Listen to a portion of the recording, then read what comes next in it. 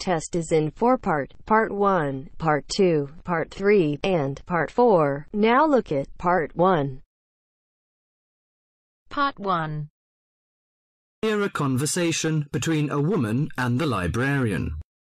Now you have some time to look at questions 1 to 6.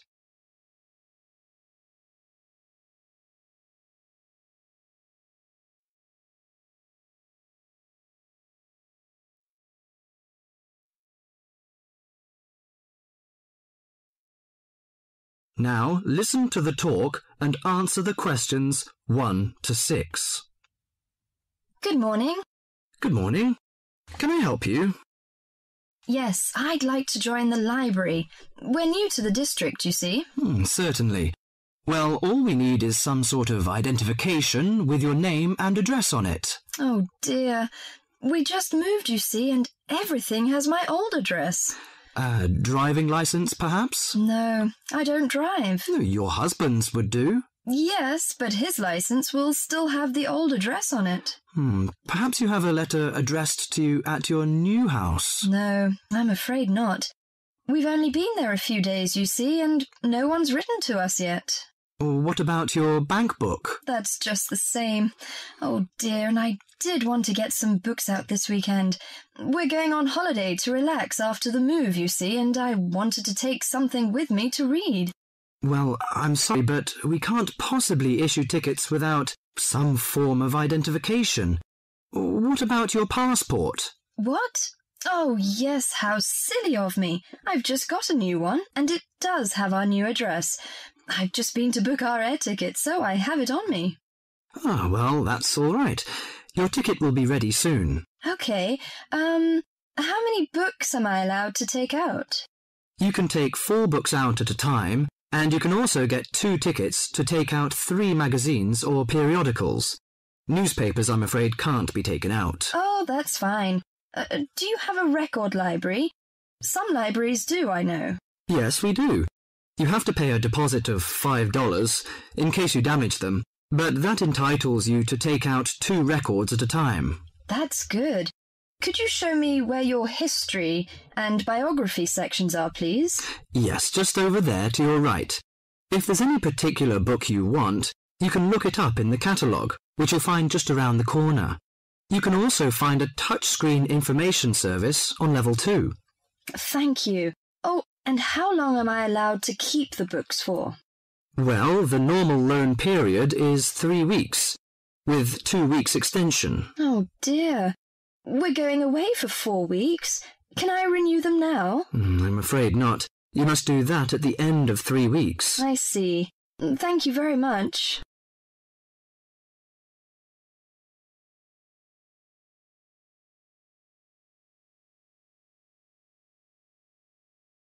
Before the talk continues, you have some time to look at questions 7 to 10.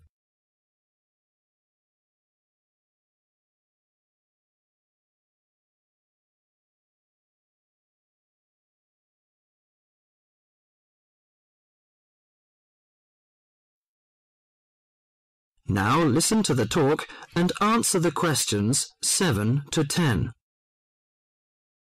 Well, let's go into some details. Your name, please, madam? My name is Barbara. The surname is Cooper. It's spelt as C-O-O-P-E-R. Fine. And what's your contact number? If we have new books coming, we can contact you in time. Good. You can call me on 723-6518, but it's better after 5 p.m.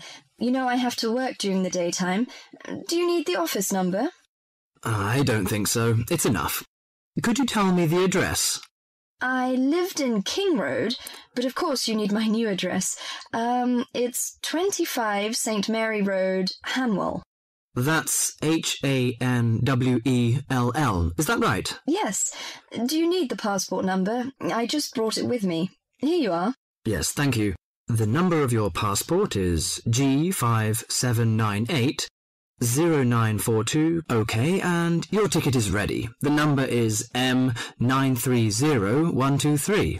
Thank you. Could I take a look around and check out some books? Of course, as you like.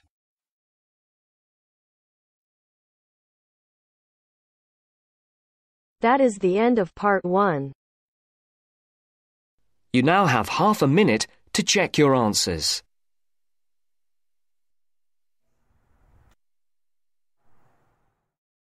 Now turns to part two. Part 2. You will hear a discussion between two students and their tutor. First, you have some time to look at questions 11 to 15.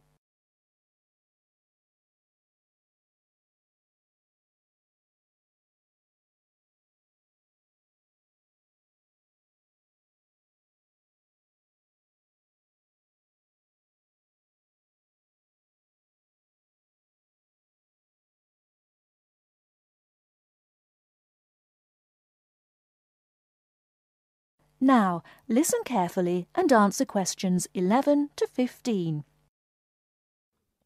Okay, guys. First off, well done. That was a very good presentation yesterday. Now I'm just going to ask you questions about it before I give you my feedback. That okay? Sure. Of course. Right. Well, in that case, tell me, Niall, why did you choose to talk about Rafael Nadal? To tell you the truth, I didn't. I think I'd better let Sheena handle this one. Sheena? Yes, it was my decision to pick Nadal. Now, that might be a strange choice for a presentation entitled Someone Who Inspired Me to Study Psychology, but Yes, but I was going to say, it does seem rather an odd choice. Was it simply down to the fact that he's a sporting hero of yours and so a role model? You talk about him a lot, Sheena, so this much is clear. it's true. Nadal is someone I look up to, but my reasons for choosing him were totally professional. You see, I doubt perhaps in the history of tennis that there was ever a better match player than him, and that got me thinking, what is the secret to his success? How does he control his nerves so splendidly? The more we started to look into his background, the more I realized Sheena was right. Nadal was a perfect candidate for this study. He is, on so many levels, a very well balanced character, and it was fascinating to gain an insight into the mind of this great champion over the last few weeks. I'll admit that I was at first somewhat unsure about whether or not I should back Sheena on this one, but it didn't take long for our research to put us at ease. So, while most of the students were researching Freud and other visionaries in the field of psychology and psychoanalysis, you were looking into a present day sports star? Does that not strike you as a little odd? Of course, we knew it was a risk. After all, there was a danger that no one, least of all you, would take us seriously when we stood up on stage and started our presentation. That said, I think it is in the spirit of psychology to be inquisitive and adventurous and not just stick to the conventional. Otherwise, how would the field have come so far, as it has done already? Well, I must say, your risk certainly paid off. Yours was, without a shadow of a doubt, the most interesting and original presentation I saw. And judging by the reactions of the other students, I would have to say that everyone else was equally impressed. Thank you. I'm so glad you think so. Yes, but notwithstanding your excellent presentation content, we must remember that the marks for this project are awarded based on a number of criteria, and we'll examine those in a few minutes. But first, another question. Where did you find your sources? Well, and I don't quite know how we managed it, but we were able to secure a face-to-face interview with Nadal while he was over here for the Wimbledon Tennis Championship, so we weren't reliant on newspaper articles and interviews or any other forms of secondary sources. We did, however, find the library's sports archive an invaluable backup aid to help us fill in the gaps and piece together our interpretation of what makes Nadal such a mentally strong champion. Before you hear the rest of the talk, you have some time to look at questions 16 to 20.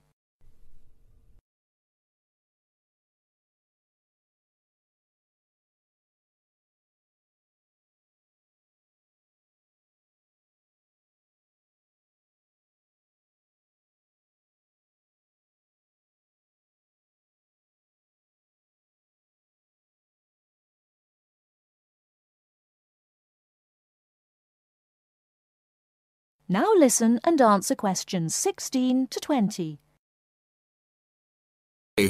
Well, as I said, congratulations again for your excellent work. Now it's time for my feedback. The first area where marks were awarded is in your use of equipment. I felt that had you not been a little too reliant on the overhead projector, and had you, for example, used the interactive whiteboard and audio equipment a little more effectively, you would have received top marks in this section. As things stand, though, your use of equipment was still very satisfactory. It's just a shame as it was an opportunity missed to score full points. The next area I was asked to assess is content. As you might have guessed, I simply can't fault you on that. Highly original work, so well done. As for your timing, I felt that the two of you were a little too over-rehearsed, so the presentation felt, at times, a little robotic. That said, again, it was very satisfactory, and you would get full points for effort. Sadly, though, there is such a thing as trying too hard, and that cost you top marks here, I'm afraid. Oh, I see. Right. What was particularly impressive, though, was the thick handout you'd prepared for everyone. I took it home to read through it afterwards, and it was very well written. But not alone that, it also enhanced my experience of the presentation itself on the day, as I was able to refer to the handout for further information on what was being discussed and to answer any questions I had. Very nice.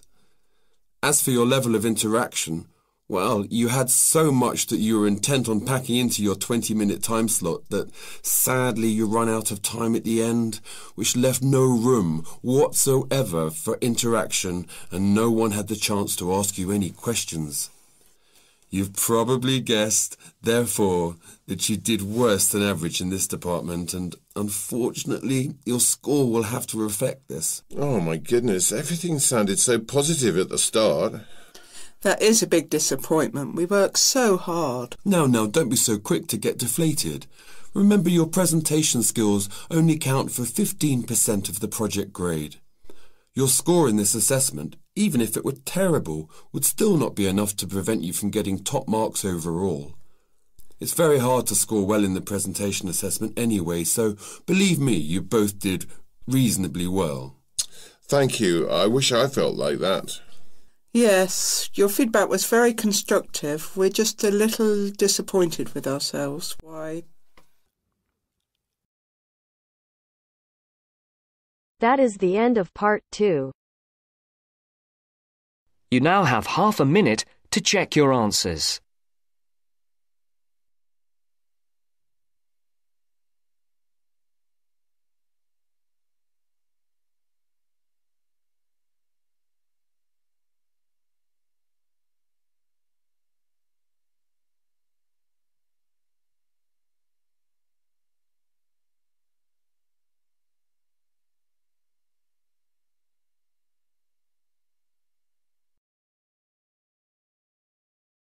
Now turns to part three. Part 3 You will hear a business studies student called Sam talking to his tutor about an IT project he is going to do for a local company called Turner's. First, you have some time to look at questions 21 to 26.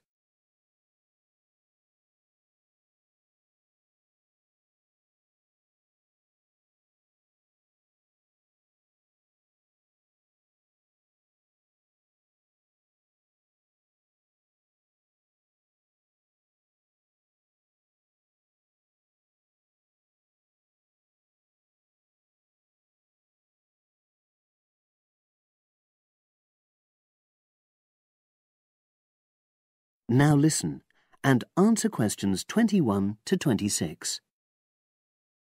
Hello, Sam. Come in and sit down. Thanks. You're here to discuss your company based IT project, aren't you? Yes, I've been to see the manager and he's given me a lot of ideas about projects that the company would find useful, but I wanted to ask your opinion about them before I choose one. Yes, that's fine. Now, this company's called Turner's, isn't it? That's right. It's a small engineering company. They make machine components for trade use. They're well established. They started in 1976, but they're a bit old fashioned. Okay. And what kind of projects did Turner's suggest you could do for the company? Well, they want some improvements made to their customer database. Uh, the one that they've got at the moment isn't very useful in some ways. I had a quick look at it. Uh, Mm. That would be a very straightforward project, and it'd be simple enough to evaluate, but I don't think you'd get enough out of a project like that. You wouldn't learn anything new. Well, another project they suggested is to do with their online sales catalogue. At the moment, customers can look at their products, but they can't actually order them online, which must affect their competitiveness. But I said I thought it would take too long. It's quite a big task. You're right, it's too much for the time you've got. It's a pity, though. Then they want some help with their payroll system. At the moment, the way they calculate pay involves a lot of manual accounting. I suggested they could have a system where employees register electronically when they arrive and leave work, so the hours they do could be transferred automatically. Hmm. I think you'd get a lot out of a project like that. It would extend your skills, but it wouldn't be too much to take on. A student did something similar a couple of years ago, but this is slightly different. Hmm. Well, then they need help with their stock inventory. They do everything manually. Really? yes, and it takes so much time. Ugh, it's probably very inaccurate, too. An electronic inventory would probably be the biggest single benefit for the company. I'm surprised they haven't had it done before. I know. Then they wanted to improve their internal security. The manager had visited other companies where the staff use uh, swipe cards to access various areas of the building. It sounded useful, but the trouble is, I'm not really sure how to do it. Well, I think you're right in that assessment. At the moment, it's probably a bit beyond your level of knowledge. Is that all? Just one more customer service. They want to be able to collect feedback from their customers in a more systematic way. At the moment, it's a bit of a mess, and they probably lose business as a result. Would that involve you going to see customers at their own premises? Because in that case, you might have to do a fair amount of traveling, and that would incur expenses that haven't been agreed with these companies. I never thought of that. Well, it might not be a problem, but it's something that needs clarifying. Well, I hope that's been helpful in narrowing down the options. Yes, it has, thanks. I'll be able to make a decision now. But while I'm here, can I talk to you about coursework? Sure. Now you have some time to look at questions 27 to 30.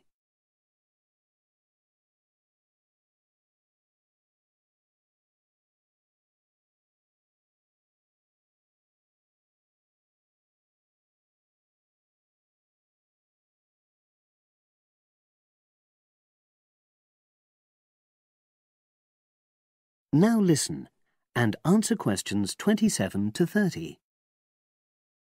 I'm not very happy about the way our group assignment is working. There are some problems. Oh dear. Are people just not getting on with each other? That's the worst thing. Actually, we're all friends. It's not that. But when we're having a discussion about the assignment, one or two people end up doing all the talking and the rest don't say anything. It's a bit frustrating because we need plenty of debate. Well, that's a common observation. You're studying in a group with people from all over the world, and you all have your own ways of participating. In some places, students are more used to listening than talking, and vice versa. Mm, I suppose you're right. I'll try to remember that. Does everyone pull their weight as far as sharing the workload is concerned? I'd say they do, yes. And our group elected uh, a leader. She's very good at making sure no one's overloaded. But personally, I feel that there are just too many of us in the group. Whenever we try to arrange a meeting, there's always at least one person who can't make it. It's not anyone's fault, it's just that we've all got slightly different timetables. Well, I'm glad you've talked to me about it. Feedback is always useful. Is there anything else you're concerned about? Uh, there are a couple of problems with lecturers that all the students are talking about. Hmm.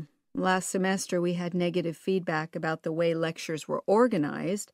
There were several occasions when the wrong room had been booked or the same room had been booked twice, that sort of thing. Is that still a problem? That hasn't happened at all, as far as I know. Oh, good. It's sorted out then. But I don't know the reason, but some of the staff often turn up late, so we miss 10 or 15 minutes of our lecture time. It might be because they've been copying handouts for students. I think there's a queue for the machine sometimes. Well, I'll look into that. Thank you for telling me. Anything else? The other thing is that it can be very difficult to get to see a lecturer individually. They're all very supportive and friendly when you do manage to find them, but often they're not in their office, even at times when they're meant to be available for consultation. Okay, that's helpful. Now, before you leave, uh, let-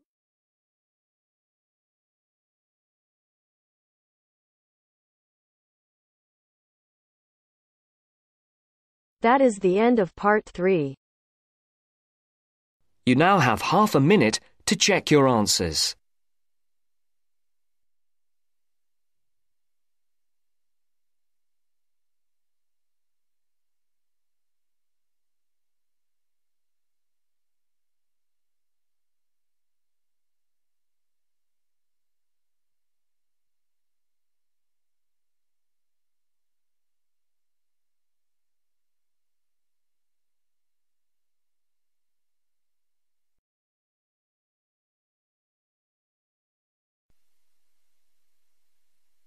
Now turns to part four. Part 4. This is Jane Frost with this morning's edition of Wake Up with Frost. First, you have some time to look at questions 31 to 40.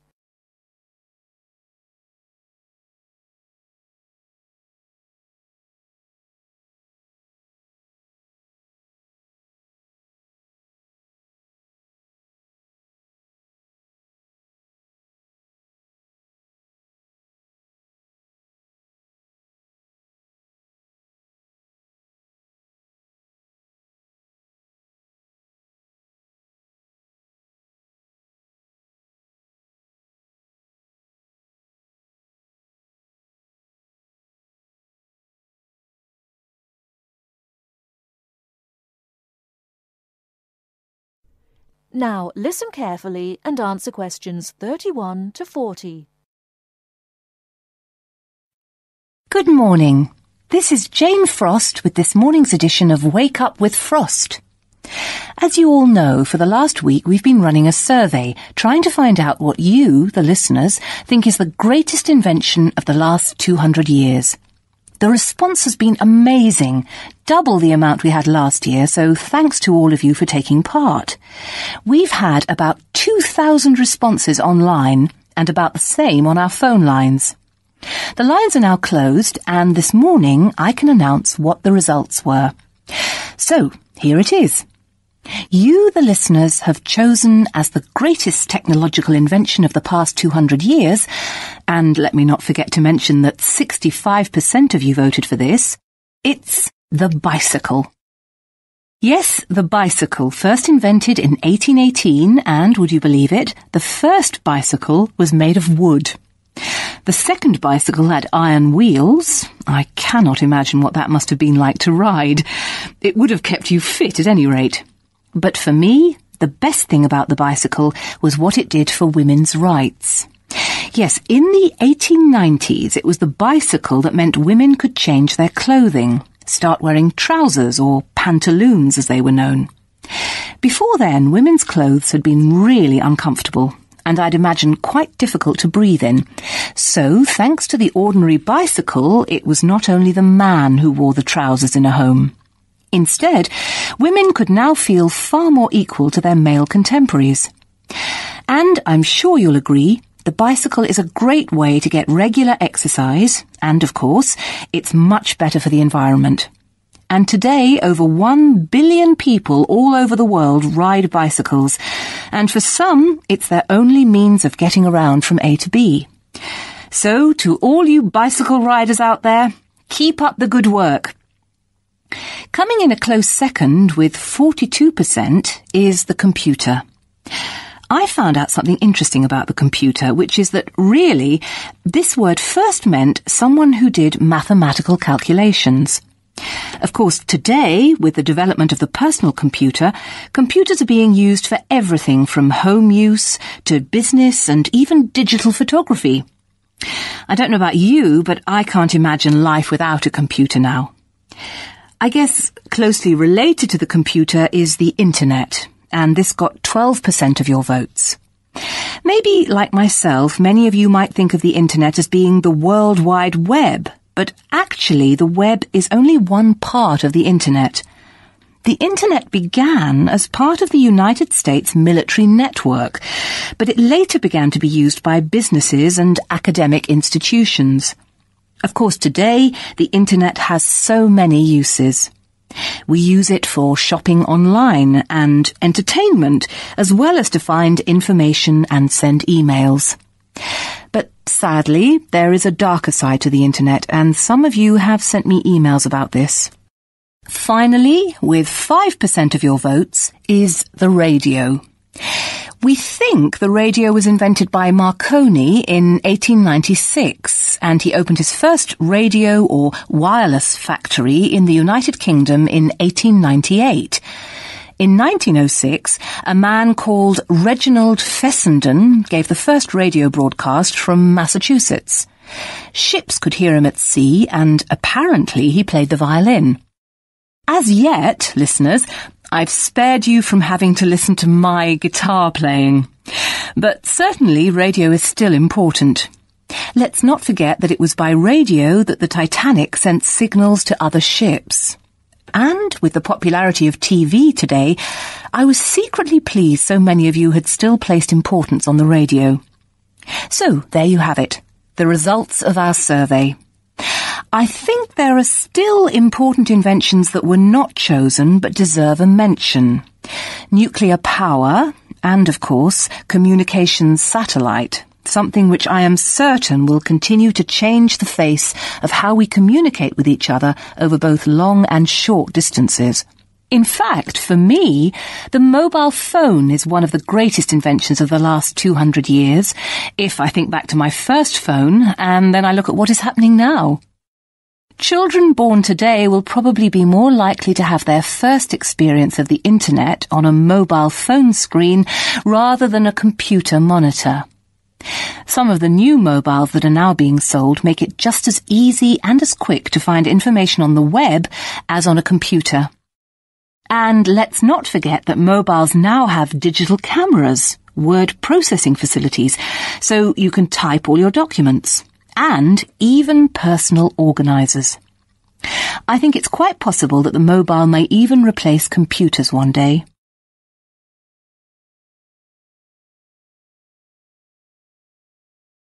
Part 4